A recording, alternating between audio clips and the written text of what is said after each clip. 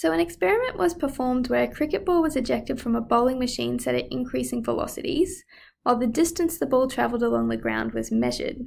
A linear regression was performed in MATLAB to establish whether there was a linear relationship between velocity, our independent variable, because that's the one we're controlling, and the distance, which is our dependent variable, because that's the one we're measuring at the end.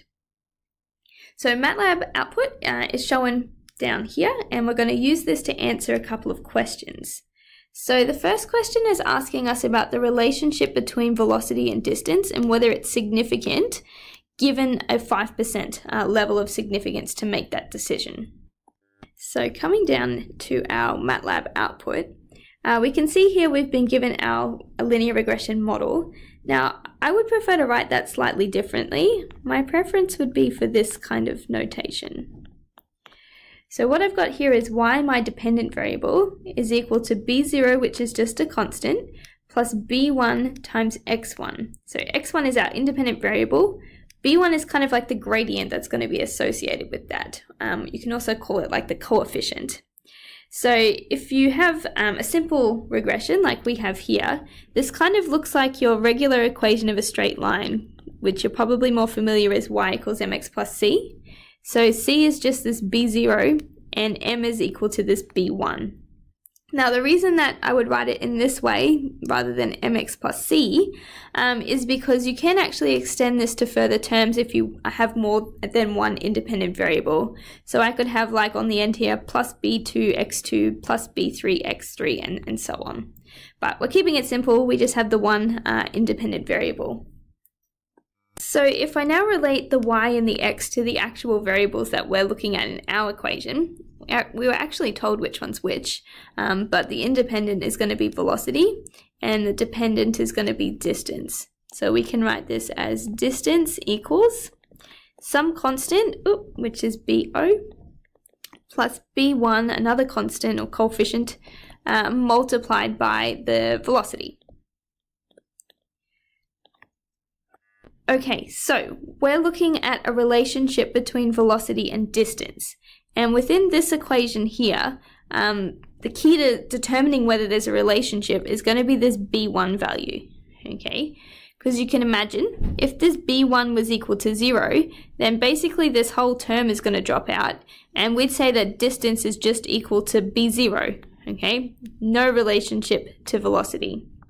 However, if b1 is actually um, a number, okay, bigger or smaller than zero, uh, then we are going to have a dependence of um, distance onto velocity. You can also kind of think about it if you draw yourself a little graph between distance and velocity.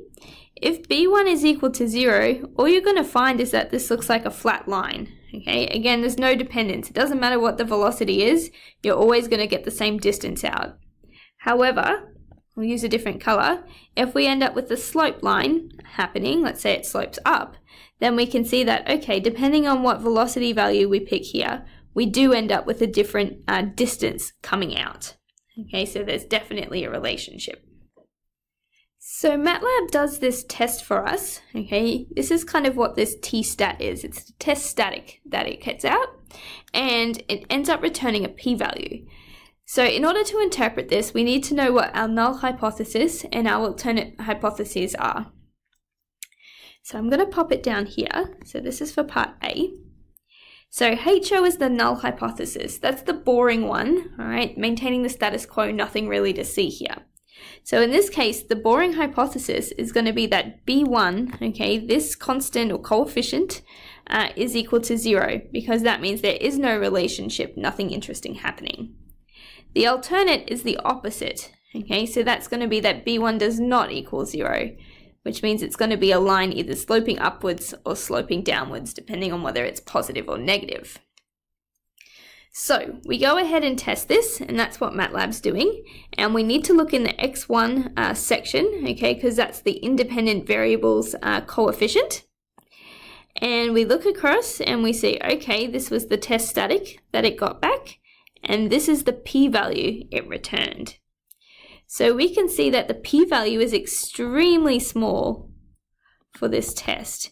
It's 2.79 by 10 to the negative 7, so really, really, really incredibly small.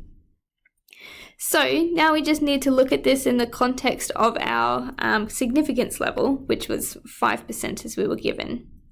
So remember that if your p-value is less than alpha, okay, or your level of significance, that means that you have um, the ability to reject the null hypothesis. Whereas if you have the opposite case, so your p-value is greater than the alpha value, then you can't reject H0. It's just not enough evidence. So in this case, we have a p-value which is much, much less than alpha. Okay, alpha is 5%, or if you put it in decimal form, 0.05. So therefore, we're definitely sitting in this um, one here. So that means that we're going to reject our null hypothesis, uh, which is that b1 is equal to 0. Instead, b1 is definitely equal to something, and in fact, we can figure out what that is. All right, this one here is our estimate for what uh, b1 actually is.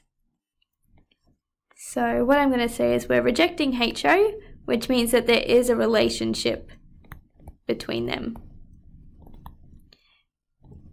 I'll put between uh, y and x1, or in other words, between the distance and the velocity. Alright, so I'll highlight that. And let's now have a look at the next part. So the next bit is asking us if there's evidence to reject that the intercept is zero. So if we're talking about the intercept, it's going to be the b0 in our equation, okay? Just like in y equals mx plus c, c is the y-intercept. So what we're looking at this time is whether b0 is equal to 0 or whether it's not. And it's pretty much uh, following the same pattern as what we did a moment ago. So I'll put b here. So our null hypothesis is the boring one, which is where b0 is equal to 0 H1, our alternate, is going to be the opposite. So again, MATLAB goes through and calculates a p-value for this test. And if we look at our um, output, it's related to the intercept line, which kind of makes sense. And the p-value we get out is 0.265 approximately. So we have the same kind of decision rule as to whether we're going to reject uh, H0. So looking at it this time, we've got a p-value of 0.26, which is going to be bigger um, than our alpha value, okay, assuming that we're using the same alpha as before, so 0.05. So this time we have, um, yeah, p-value greater than alpha, so we can't reject the null hypothesis, okay. So I'll put p-value um, greater than alpha, so that means we can't reject H0. Um, so therefore, we're pretty much accepting it, um, which means that B0 is essentially equal to zero. All right, we just don't have enough evidence to say otherwise.